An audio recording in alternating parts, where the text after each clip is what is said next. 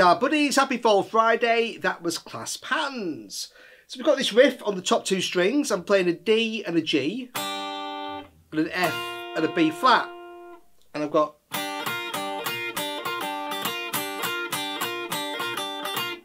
just going between those two th frets, the third fret, the sixth fret on the B and E strings. And the first time you kind of play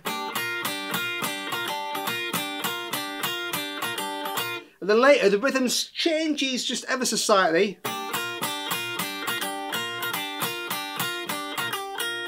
But essentially you're playing the same thing, so it's kind of interchangeable. But basically, three and six are the top two strings. And then we're going to an A minor. Then a D7. Then a C7 sharp 9, the Hendrix chord. So that's three on A, two, three, four, C, E, B flat, E flat, and a G. And again.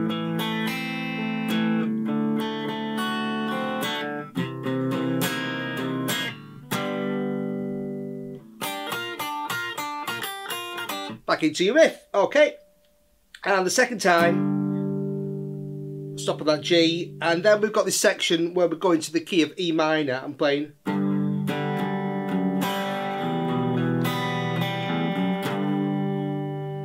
So I'm just playing on the bottom three and five, like a G5 chord, and the open strings. And then just moving the bottom note down to an F sharp, so on two.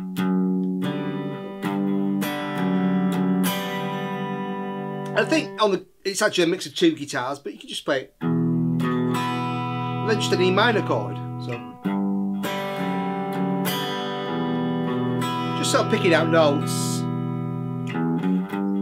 Then going back up. Open E, F sharp, open two.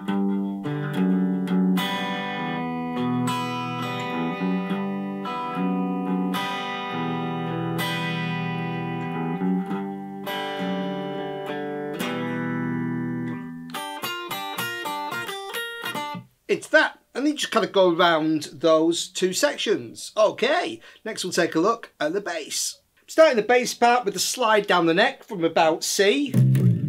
So sliding from A. So then playing a riff based on G, B flat and C. Three on the E string, one and three on the A string. So play that three times.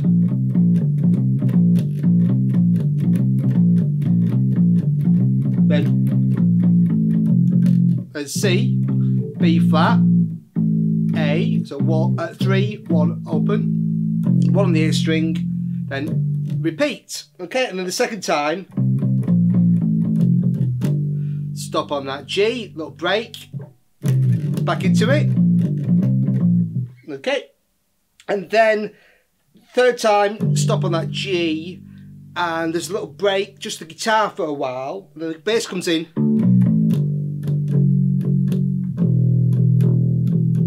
So we change key to E minor now, so we've got little fill to bring us in. One, two, three, and four, and boom. So open D, B, open A, open two, open, on the D and A strings. And then just going G, F sharp, E back to F sharp. So three, two, open. Two, repeat. And you're just going round and round on that. Stop on an E and Okay, back into that. So that's essentially the riffs that you're going to use for the song. All right, great stuff. And happy Fall Friday. Thanks for watching, folks.